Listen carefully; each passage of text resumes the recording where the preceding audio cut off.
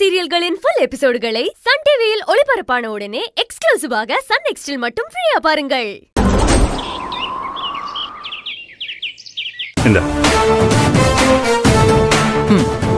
நன்றிங்கம்மா. Okay. Senthil. Sir. ரொம்ப நன்றிங்கம்மா. காயத்ரி. ம்.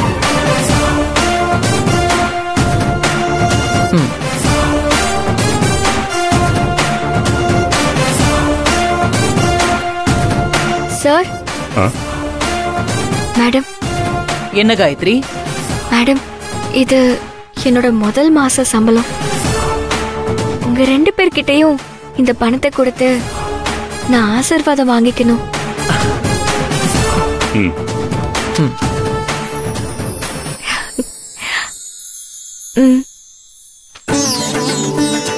என்ன ஆசீர்வாதம் பண்ணுங்க. நல்லா இருக்கு. நல்லா. நீ நல்லா இருப்ப காயத்ரி. உனக்கு எந்த குறையும் வராது. நாங்க இருக்கோம். இதே மாதிரி உங்க கால்ல உங்க வீட்டு மருமகளா விழுந்து நான் ஆசீர்வாதம் வாங்கணும்.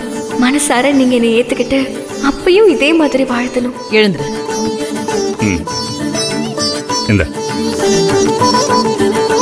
காயத்ரி பணம் சம்பாதிக்கிறது முக்கியம் இல்ல. சம்பாதிச்ச பணத்தை தேவையில்லாம செலவு செய்யாம உனக்குன்னு ஒரு அக்கவுண்ட் ஓபன் பண்ணி உன் எதிர்காலத்துக்காக சேர்த்து வச்சுக்க. யார் கைவிட்டாலும் பணம் காப்பாத்தும். சரிங்க சார். சரி.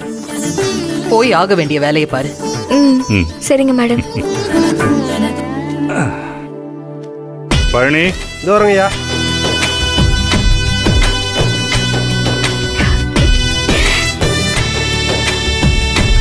முருகா இது என்னுடைய முதல் மாச சம்பளம். என்ன ஆசீர்வாதம் பண்ணுங்க.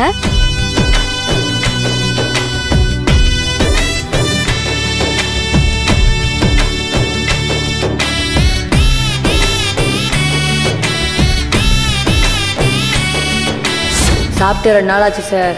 கொடுக்காதீங்க. இந்த பையனுக்கு மளிகை சாமானுக்கு எவ்வளவு வருதோ அதை நீங்க கொடுத்தீங்கன்னா இந்த மாசம் எனக்கு சம்பளம் வந்ததும் நான் அந்த கடனை திருப்பி கொடுத்துருவேன். நாம செழியன் சார் கிட்ட பணம் வாங்கி அந்த பையனுக்கு மளிகை சாமான் வாங்கி கொடுத்தோம். சம்பளம் வந்ததும் அந்த பணத்தை திரும்ப தரதா சொல்லியிருந்தோம் இப்போ சம்பளத்தை வாங்கிட்டோம். அதை திரும்ப கொடுக்கறது தானே முறை?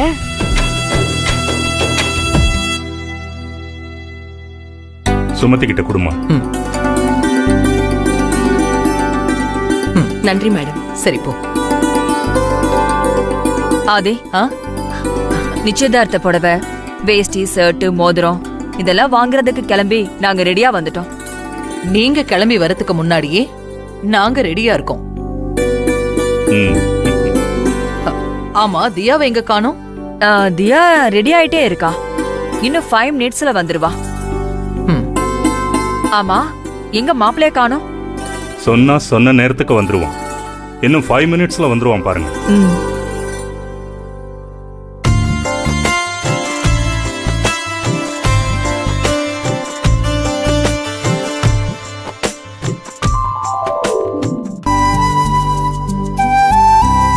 சார்?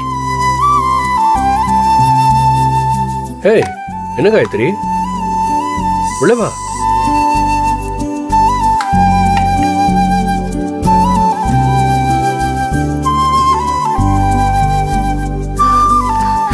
இந்தாங்க சார். என்ன இது பணம்? என்ன சார்? மறந்துட்டீங்களா? உங்ககிட்ட நான் கடன் வாங்கியிருக்கேன். உங்களுக்கு ஞாபகம் இல்லையா? என்கிட்ட கடன் வாங்குனியா? எப்போ?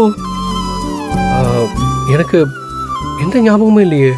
என்ன சார் இப்படி சொல்றீங்க? கொடுக்கல் வாங்கல்ல எப்பவும் கரெக்டா ஞாபகம் வச்சிருக்கணும். இல்லனா உங்ககிட்ட கை மாத்தா பணம் வாங்குனவங்க உங்களை ஏமாத்திட்டு போயிருவாங்க. அன்னைக்கு சிக்னல்ல ஒரு சின்ன பையன் பிச்சை கேட்டப்போ மல்லிகை சாமான் வாங்கி கொடுத்தது. உங்களுக்கு ஞாபகம் இல்லையா? ஓஹோ அதுவா? நல்ல ஞாபகம் இருக்கு. அந்த பையனுக்கு வாங்கி கொடுத்த மளிகை சாமானுக்கான பணம் தான் சார் இது. ஐயோ இதெல்லாம் ஒரு விஷயமா? அந்த பணத்தை நான் கொடுத்ததா இருக்கட்டும் இதை நீயே வச்சுக்கோ. தப்பு சார். அது நான் உங்ககிட்ட திருப்பி கொடுக்கறதா சொல்லி கடனா தான் வாங்கினேன். கடனா இருந்தாலும் சரி அன்பா இருந்தாலும் சரி சரியா திருப்பி கொடுக்கலனா அதுவே பிரச்சனை ஆயிடும் தேவையில்லாம பணத்தால நமக்குள்ள மன கஷ்டம் வர வேண்டாம். ஐயோ அப்படியெல்லாம் நம்ம ரெண்டு பேருக்குள்ள எந்த மன கஷ்டமும் வர வேண்டாம். நான் இப்பவே பணத்தை வாங்கிக்கிறேன். கொடு.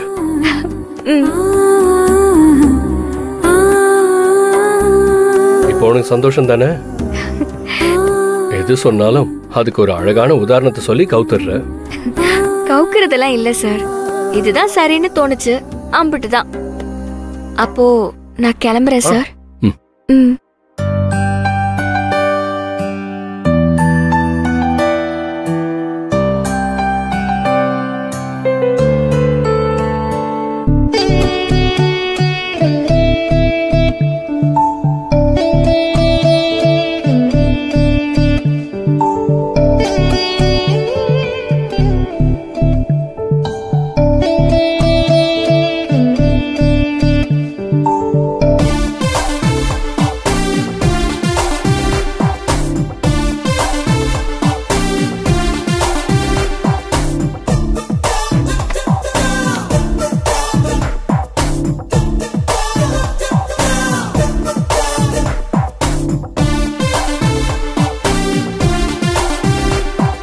செழியன்? என்ன இது? ஸ்கூல் பையன் மாதிரி? எப்ப பார்த்தாலும் ரொம்ப போரிங்கா ட்ரெஸ் பண்றீங்க. இதெல்லாம் ரொம்ப ஓல்ட் ஃபேஷனா இருக்கு. இப்பெல்லாம் ட்ரெண்டே வேற மாதிரி இருக்கு.